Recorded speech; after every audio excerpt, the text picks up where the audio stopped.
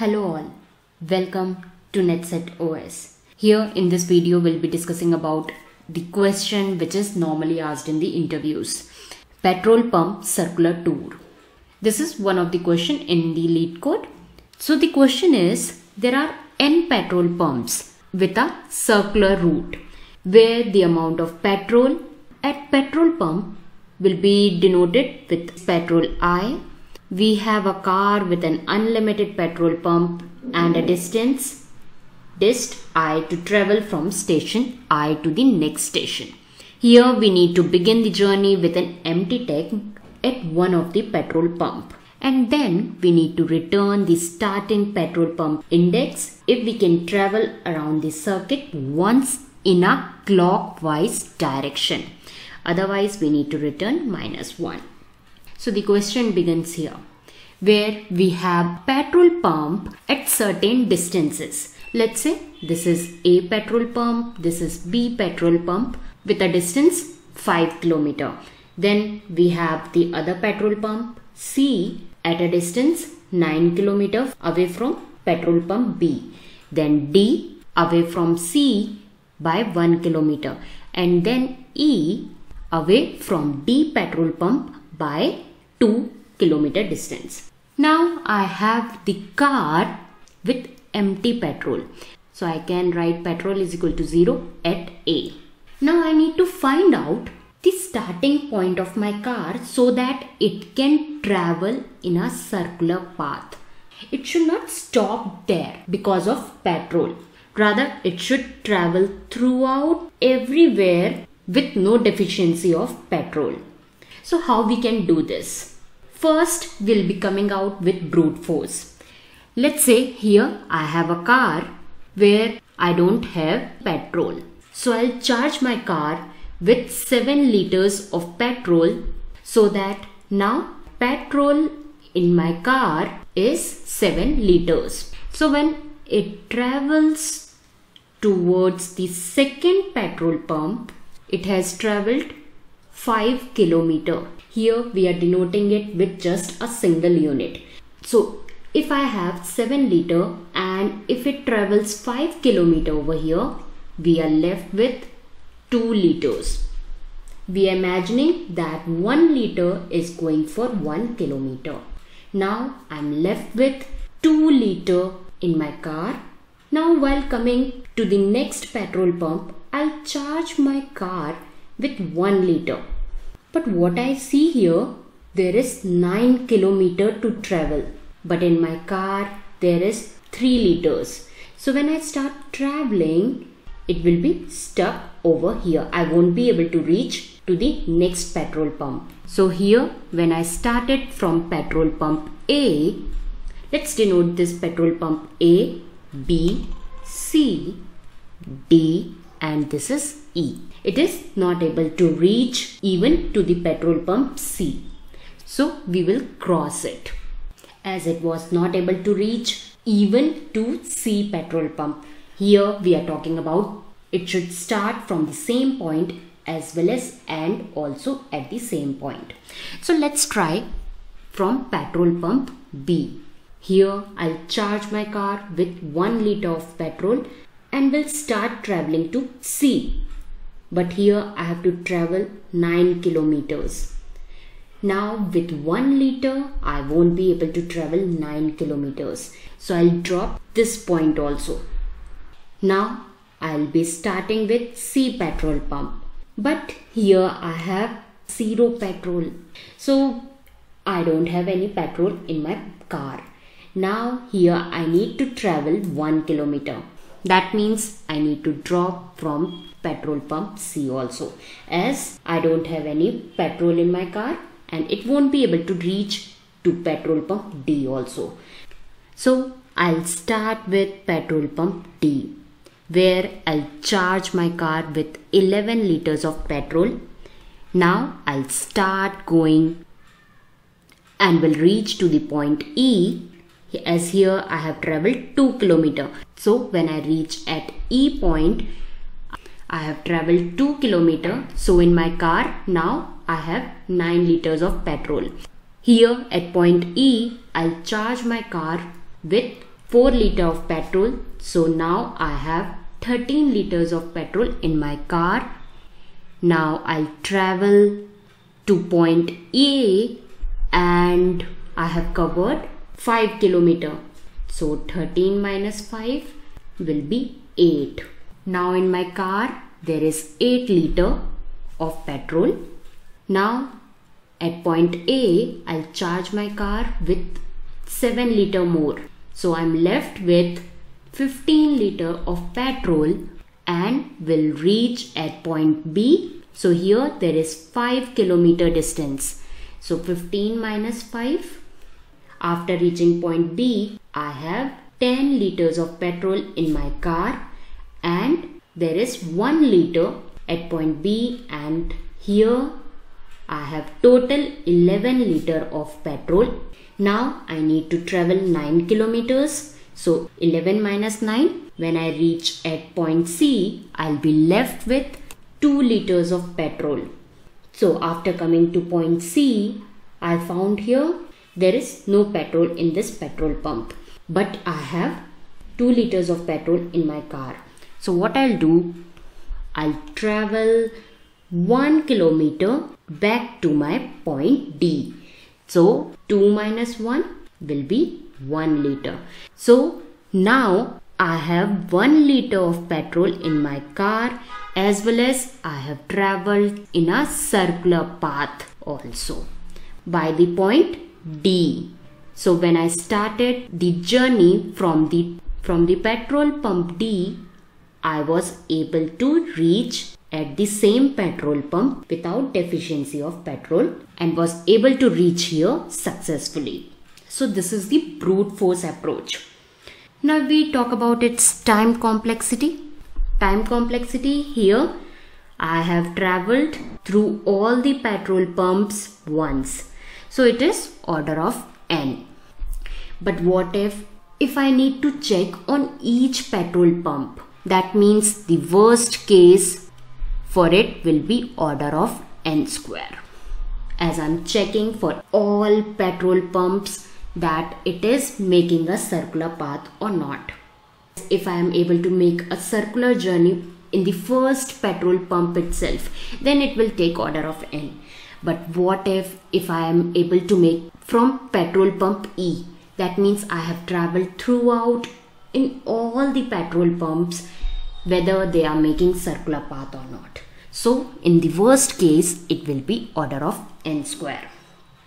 If you have understood this approach, you'll be able to write this code by yourself. If not, let me know in the comment section. I'll give the code for brute force approach in my GitHub link. Now, my question is, can we improve time complexity? for this particular question.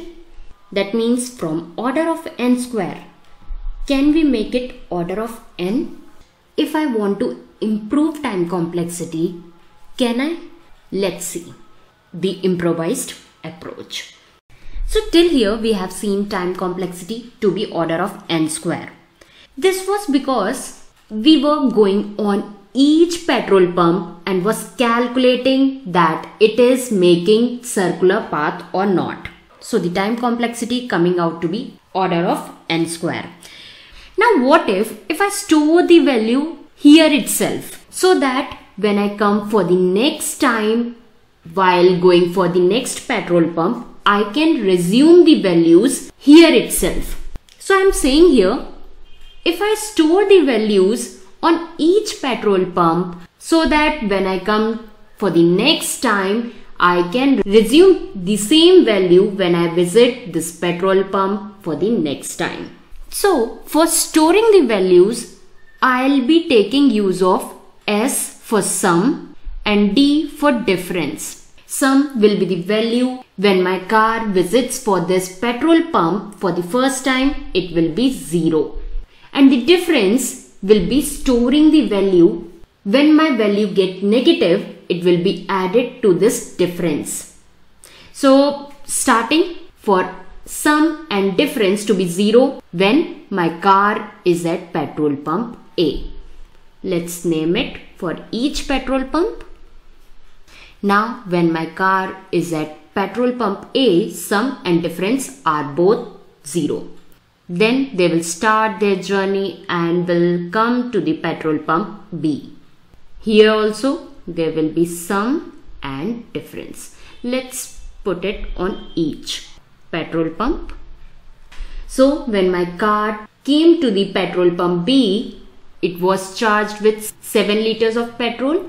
7 minus 5, sum came out to be 2 and the difference will be here 0 as there is no negative value over here.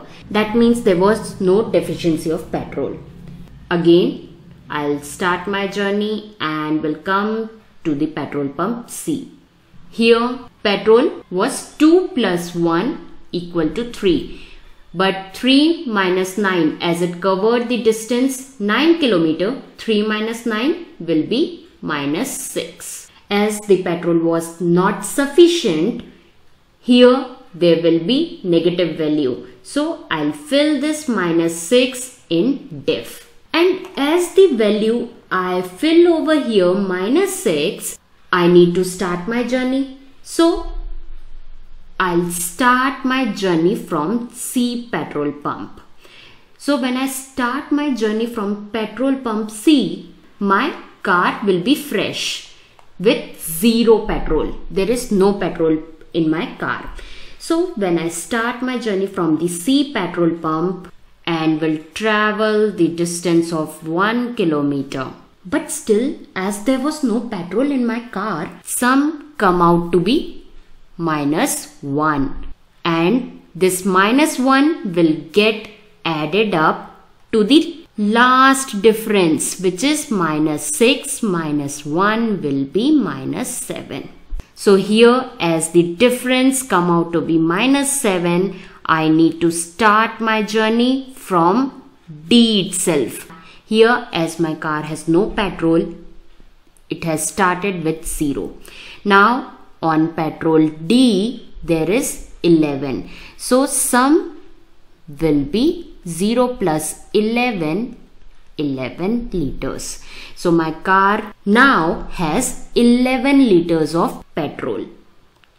So it will start its journey and here coming to E petrol pump there was distance of 2 kilometers. So 11 minus 2 is 9.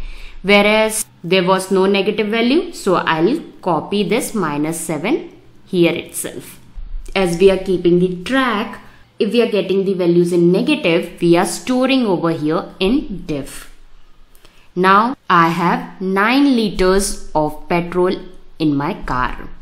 Now after coming to petrol pump E, there is 4 liter of petrol over here. So I'll charge my car with 4 liters of petrol so that it is having now 13 liters.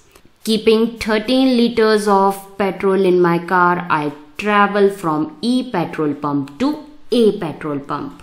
So when I covered 5 kilometer of distance, I have already 13 liters of petrol in my car. So coming to the A, I have 13 minus 5, 8 liters of petrol in my car.